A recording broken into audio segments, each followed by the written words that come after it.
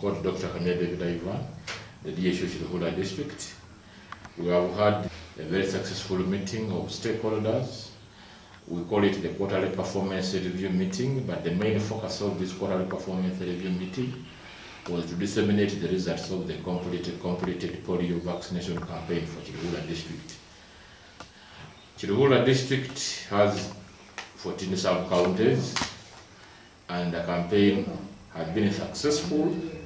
We scored an average of 107%, but the performance was variable among sub-counties. The best sub-county was Chitula with a performance of 153%, followed by Hiwa Town Council 130, Sanga Town Council 123%, Kanyaryeru 122. The last two sub-counties were Kenshunga sub-county and Sang sub-county. So we would like to thank all of the stakeholders who participated in this campaign, right from the village level, for parish level, sub-county level, up all stakeholders at district level.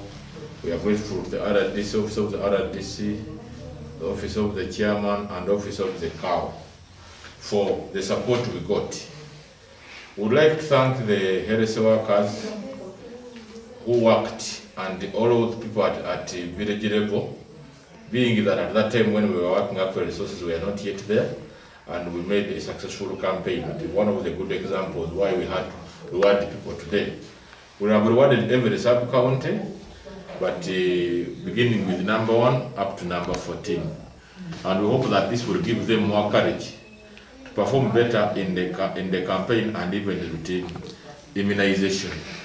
What we want is to see that all our children in the district are fully vaccinated. This is in this campaign for polio, but even with all other immunizable diseases.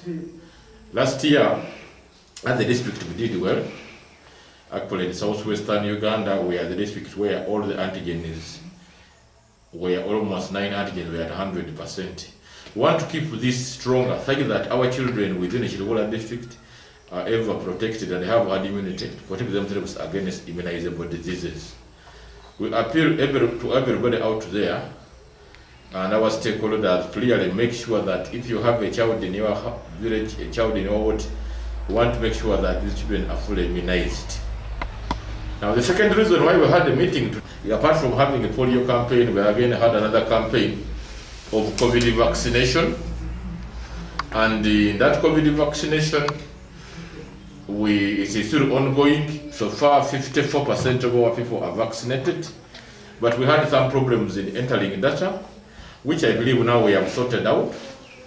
Two weeks back, out of this 54% vaccination, which, which was equivalent to 54,000 people almost, after the first two weeks of vaccination, only 14,000 entries had been made. But we would like to thank the team of people who have participated in entering data into what we call the individual data entry. Right now, for the last three weeks or four weeks, 50 54,000 entries have been made. And right now, our back- backlog, the data remaining, which is not yet entered, is less than 5,000. We hope that as we enter all this data into the system for Ministry of Health, we shall be able to get more vaccines and all our population. We shall show cause that we need more vaccines to vaccinate all our population. And we get more vaccines and everybody in Kiruhura is gets vaccinated. We would like to thank you, the press and stakeholders, for all the efforts you have done to, to make our sector a success. The, the other third thing that we have been happy about today is uh, we had wanted to make sure that all our center series have what we call art fitment centers. And the letters that I'm showing you today, that uh, four of our facilities which we had applied for have actually been approved to offer art. And these facilities include Nswere, include Revijemano, these facilities include Rambira, and, uh, and uh, then Rwesande. Now, this is also in line with bringing services nearer to the people. So people who have been in these sub-counties, right now these facilities have been operated to offer art. Very soon, we shall, within one or two months, we shall have art services there. The rest workers are going to be trained We are going to have more health workers posted there. We are going to make sure that there is what we call capacity building of health workers. And then people within these sub-counties, I think by end of February, will not have to travel long distances looking for art. They'll be able to get art from their sub-counties or facilities, which is also a very good step in, access, in trying to bring service near to the people, because we realize that these facilities, some of the newly upgraded facilities in the last five or six years, they have been delivering some other than maternity units, but they lacked art services. So we are grateful to the Ministry of Health and other stakeholders, our partners of TASO, our partners of RHITES for supporting this increased access to services in the population of Kiruhura by making sure that at least most of our sub-counties have access to art. When this is done, we shall now make sure that out of our 14 sub-counties, out of the 14 sub-counties, at least at least 12 of them will have art centers. Now, two of the sub-counties, which include which include the sub-county of Rentam and the sub-county of Rabarata, there is ongoing construction of new maternity units and new structures, which we believe within two months, by end of March, these maternity units will be finished. When they are also finished, first of all, they will be able to be upgraded as maternity units, which will be working. Will believe our mother the district. Two, we shall again also submit them for accreditation of our art services. And therefore, if we have done that, we shall upload the service near to the people at every sub-county level. What I've also done today, we have emphasized the, the emphasis that the government, apart from offering services at sub every sub-county level, we want services like immunization to go deep at parish level. And I'm encouraging all my 17 charges that every quarter, every council meeting, they're able to share results of immunization in their sub-county per parish to their political leaders at sub-county level. Such that these people at sub-county level, they can be able to understand which of their parishes achieves the target. And we have told them that each parish must achieve a target of at least 90%. If we're able to do that, then we shall be able to make sure that all our population is have what we call the herd immunity, and they are protected against immunizable diseases. And we shall have a population which is free of immunizable diseases within the district. So we would like to say thank you very much, everybody. Thank you very much, the political leadership of the district.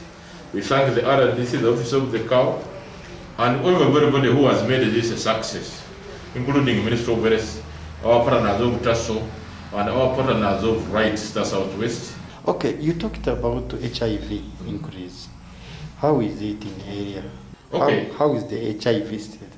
The HIV services have been improving over time, like what I've been actually telling you in Kiruhura. Like what I can tell you six years ago, our prevalence rate was 7.2%. But according to what the recent Uganda Demographic Survey, indicator, HIV indicator survey, we have gone down 6.2%. That means the prevalence is going down instead of going up. But for us to bring this prevalence down and bring, bring the deaths to HIV, we have been having a lot of intervention like I've been telling you. I've told you that, like I've told you previously, that 10, 11 years ago we had only one art site in Lucere. But right now we have extended art services to every sub-county. With, with these new art sites, only two sub-counties will not be having art sites, maybe three. But we are trying to make sure that whenever we build a facility center, we have art services here. What does this mean? We have made sure at the district, we achieve what we call the 390, 95, 95. That 95% of our patients, we test them because we are doing a lot of testing. 95% of those who are positive, we start them on treatment. And 95% of them are virus suppressed.